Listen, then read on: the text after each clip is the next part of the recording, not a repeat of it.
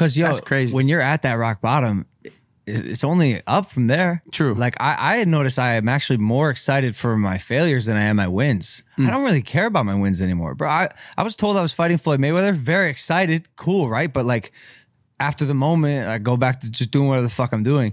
When you fuck up and fail on a level like that, Mm-hmm. you have to reevaluate. And with that reevaluation comes positive change, comes uh, a new you, p- potentially a new identity, new goals, aspirations, and a way to get there. And that's fun. So that's you- exciting shit. wh- What were some of like the growth and lessons you feel like you learned from that? so many so many um so the the analogy i, I use is uh some somewhere in my life i hit a fork in the road and i and i went down the wrong path Well, i don't know if it was like my intentions were wrong i was letting the wrong uh, motives fuel me whatever it was i i, I just like I don't know. I, I couldn't see what was happening. Yeah. And I, I just had to reverse my life. And I did so by trying everything, listening to people, talking to people around me, bringing him on board. You know, I didn't have a mentor or a big brother. I was, I'm the big brother. Yeah. And so uh, I, I, I just, uh, I just started listening to people around me and to the world and uh, being being a real student of the environment and and